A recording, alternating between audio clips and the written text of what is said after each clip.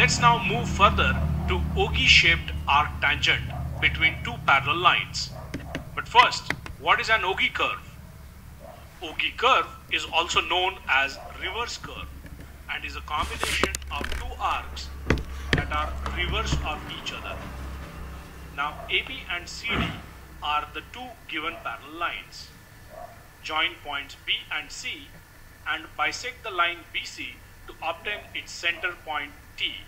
Further bisect line segments BT and CT. From point B, draw a perpendicular line to cut the bisector line PQ at E. And from point C, draw a perpendicular line to cut the bisector line RS at F.